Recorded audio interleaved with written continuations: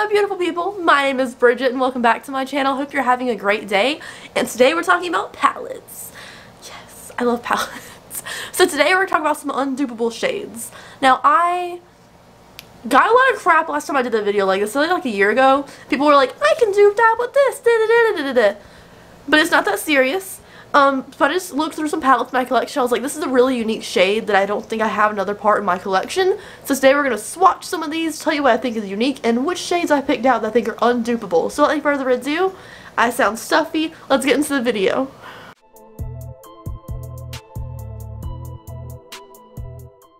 Alright guys, as always, all makeup on this channel is cruelty free, so all the palettes that I'm mentioning in today's video.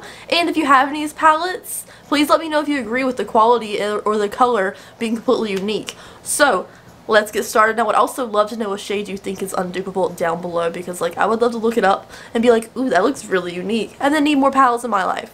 But, let's get started with the first one, which is the Jeffree Star Blue Blood Palettes.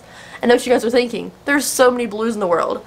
I'm not actually talking about the blue shade in this palette. So this is the Blue Blood palette. Oh, it's so pretty on camera. I need to use this more. It's so pretty. So when it came to um, which shades I thought were undupable in this palette, I was like, first I look at this color, I'm like, that's really unique. But to me, when I think of the Blue Blood palette, I don't even think of blue eyeshadow. I think of this shade right here. This one is called Cullinan, and it's gorgeous. Okay, okay. I love Ice Cold Skin Frost from Inner Corner Highlight, right? Every day of my life. This is the one thing I want in a giant Skin Frost pan. It's like Ice Cold, um, but it's softer and it's a little more vibrant. It's a little less yellow. It's a little more like stark white. Like, ugh, it's so soft and buttery feeling. Like, the texture of this is out of this world. There are tons of white, like, icy highlights in the world but this shade, it's so soft, and in the inner corner highlight, like, oh my god, it's just, it's the most beautiful thing in the entire world. It does not do it justice being swatched out like this. It's just a silvery, icy white highlight, but it's not silver where it's going to look weird in your inner corner highlight and, like, make your under eyes look darker. It's not going to pull blue so your veins pop out. It's just beautiful. It's so soft and buttery compared to other inner corner highlights like that. I know you can use it on the lid, I just think of inner corner when I look at this color. It's just the, the quality of the texture of it is beautiful and so is the color. So I am a connoisseur of icy white shades or like champagne shades through the lid. But this beats all of them. I just wish it came in a single or a giant pan because I don't want to reach into this giant big bulky palette that's hard to open for that one shade all the time. So that's the only downside, but it's stunning. Next up, let's make some controversy by saying Jeffree Star and then talking about a Kat Von D palette. This is the Saint Sinner palette. It was limited edition and it's huge. Um, and since it's huge and bulky, I store with my Jeffree Star big and bulky palettes because like all the awkward ones have to go together. I don't care what kind of like controversy that causes, but this is the Saint and Sinner palette. I never reached for this palette. I don't know the last time I used it, but it's so pretty. And the one shade that comes to mind when I think of something in here that's undupable, even though there's so many colors in here, it's this shade right here, which is called Heaven. And it doesn't look very unique in the pan, but it's a hybrid between a lavender and a silver. And honestly depending on what you put around the look like whatever you put in the crease or whatever you put this in the lid depends on what kind of way it pulls it's not a duochrome. It's just like a normal shimmery metallic shade. But first I'm gonna put my hand. For some reason the different colors you put around it makes it look more purple. This time it looks more silver. Oh there it looks more purple. Then it looks more silver. Depending on what you put in your crease what you put on your lid it pulls a different way and it's just really unique. I don't usually have something that's so icy but kind of purple at the same time. So the shade Heaven, the shade Heaven in the Saint Sinner palette I feel like is the most unique out of this palette and definitely the one that I think I would want on its own in a separate palette maybe from a less controversial brand so people don't give me crap about it, you know? You know? Maybe a little bit? Okay, I don't know. Here, um, that's this one. Next up is this palette from Beauty by Somi. It is the Remedy palette.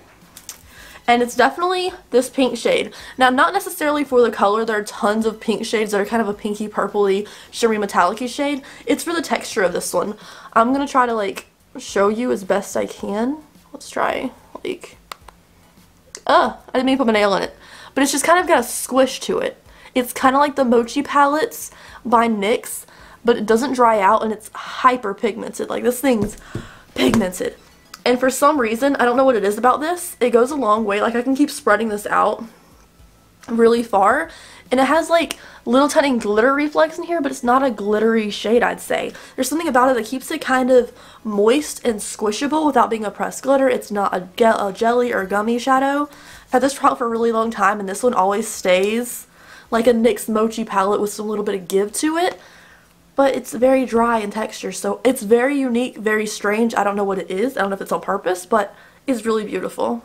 Next up, I'm sure my first undupable shade video, I included this one, but it is in the California Dream palette by Lorac, which is so old, but it's still a favorite. and it's the shade Kitty Cat. It's this shade right here. It doesn't look like a very unique color. Just because it's undupable doesn't make it like an extravagant like neon color. Um, but there's something about this color right here. The formula for it is stunning even after all these years. And something about the quality of like, it's not crumbly, it's not super super soft but it's so spreadable and smooth. Like it makes my eyelid look so smooth when I wear this color. It is so pretty. It's a very unique looking color. Look, it kind of, it's a purple, definitely purple. But it definitely pulls certain kinds of brown. You never see a purple shade. Because look, it's like an icy, silvery, purpley shade. That pulls very brown sometimes, depending on what you wear with it. So I find this shade really unique. And honestly, every time I talk about this palette, everyone talks about the kitty cat shade in here because it's so good.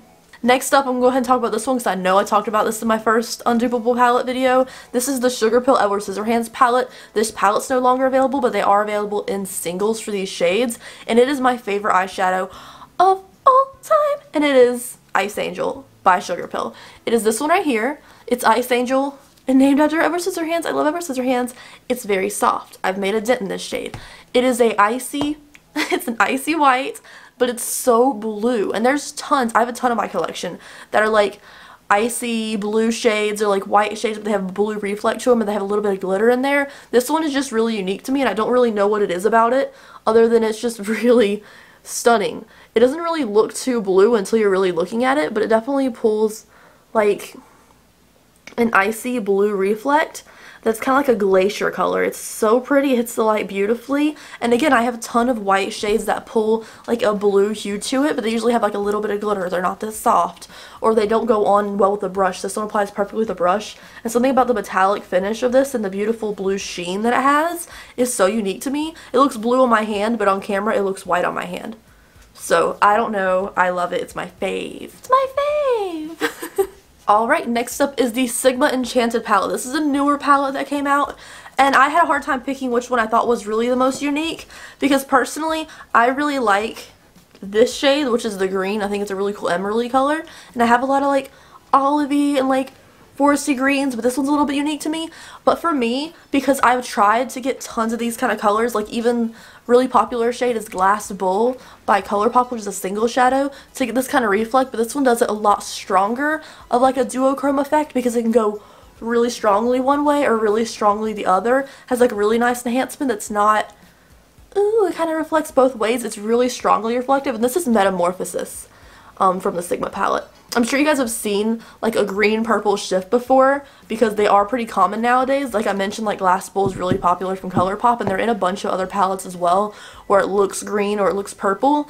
This one goes really really strongly that way and has a little bit of glitter in it. So this, let me swatch it out really wide right here, is how it looks because it's very green or it's very purple. And when it's very purple, like let me get another swatch so I can build it up. I've spread it out pretty good.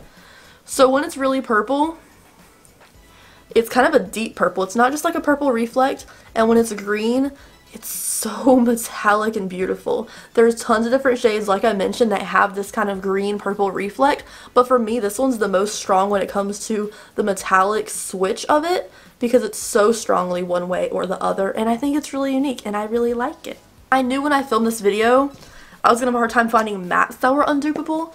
Um, but for me, a lot of the finishes and different kind of textures that come in shimmer metallics and stuff like that and like satin finishes are more unique than mattes. I feel like mattes have some really, really good colors that I love, but when it comes to like a different kind of finish, and a different kind of like reflect or color hue to it, shimmers and metallics are the way to go. The next one is this, in this Focallure palette, is these Sunrise Impressionism palettes by Focallure. We just tried the Focallure palettes in a video. I did like a first impressions trying the brand. And the shade we all fell in love with in that video is Champagne. It looks like this. It kind of reminds me of the texture of like a Huda palette. And I just find this color really unique. So this is what it looks like. There's a lot of champagne colors in my collection. But for some reason this one has a really like, it's champagne yellow. It's also pink and it's also green at the same time. I don't know if we can even tell here, but it just, it's so beautiful and it's so unique. And for being like a dupe brand or an affordable brand, this color kind of blew me away. There is a similar color in an Alter Ego palette, which is a dupe for Natasha Denona, but for this price tag, I found this color so stunning and so unique. I just realized I was probably making a really bad face there because on camera you couldn't see the green but you can see the green in person. So the last palette is the one with the most unique shades in it and this is the Kaleidos Deep Sea palette. This has been out for a while, you guys. But the metallic shades in here are unlike anything else on the market, I think, because they're so weird and cool. And honestly, looking at the palette, it doesn't look like, ooh, but these are like, they're like water. Is that weird to say? Also, I got stuck in the rain, don't judge my hair. Um, they're like, it's a soft texture, right? I don't know how to describe it. These textures are so unique, and the colors are like all duochromes.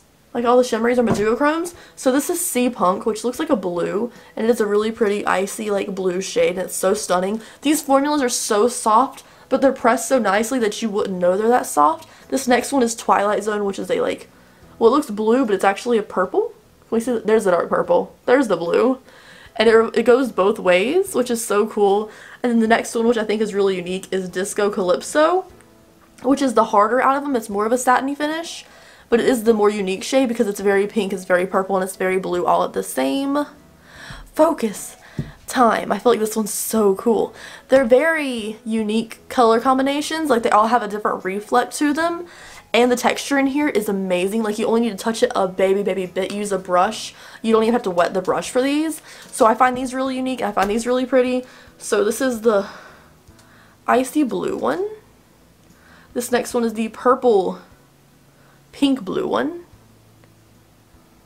Ooh, that looks so weird. and then this is the Disco Calypso. I'll put it in the middle here for you. Ooh, it kind of rubbed into the other ones. But, um, see how it's like kind of just like water? I don't know, it's unique. And then this one turns like dark. Then it's like a purple and it's kind of a blue at some points. And this one's just so icy. Like, I don't know, there's something about the formula of these. Like, the colors are really cool too. Like, there's not colors you see these all the time. You don't see these colors all the time in this middle row. But the formula is so unique of these as well that I'm kind of like, ooh, what are you doing, Kaleidos? Because that was their first release, and I didn't know if I was going to like like the brand when I first tried it out, but I'm kind of in love. And also they have their new highlighters coming out, you guys. The packaging. Anyways, you guys, that is it for today's video. Thank you so much for watching. I hope you enjoyed it. Please let me know what shade you think is undupable down below. And if you disagree with any of my choices, you know, it's just, it's cool. It's just makeup. It's not a big deal. And I will see you guys in the next video. Bye.